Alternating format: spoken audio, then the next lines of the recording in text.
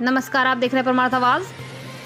Corona virus महामारी से भारत में लॉकडाउन होने से तमाम डेली मजदूर की मुसीबतें बढ़ी हुई हैं। इस हालत को देखते हुए राकेश भारती, पूर्व प्रधान कोटी एवं युवा नेता रवि भारती ने तमाम जरूरतमंद लोगों के लिए मसीहा बने हुए हैं। श्री रवि भारती की तरफ़ से सब्ज़ी, आलू, मिर्ची, प्याज, कद्दू आदि वगैरह पैकेट में पैक कर पैकेट को वितरण किया गया। आपको बता दें कि अभी हाल ही में दो दिन पहले रवि भारती द्वारा लंच पैकेट सभी बाहर से आए हुए लोगों को, वर्तमान जरूरतमंद लोगों को उनके घर जाकर पहुँचाए गए।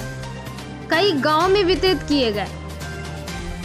तमाम लोगों की परेशानियों को देखते हुए तमाम नेताओं ने आगे बढ़कर हिस्सा लिया, जिसमें सबसे पहले भी जिला मंत्री रवि भारती द्वारा बहुत ही सराहनीय काम किया गया। आइए सुनते हैं रवि भारती ने इस बारे में क्या कहा। हमारे संवाददाता मोहम्मद अजमल की इस रिपोर्ट में।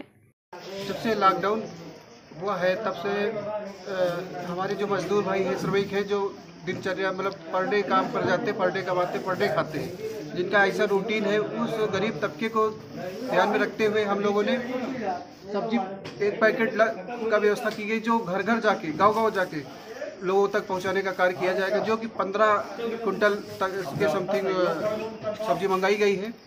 राशन हाल ही में अभी वितरित हो चुका है तो सब्ज़ी की किल्लत होने के कारण सब्ज़ी वितरण का कार्य करवाया जा रहा है बड़े स्तर पर। जिसमें आप देख सकते हैं कद्दू है बंधा है मिर्ची है प्याज है आलू है और काफ़ी ये बड़ा पैकेट है।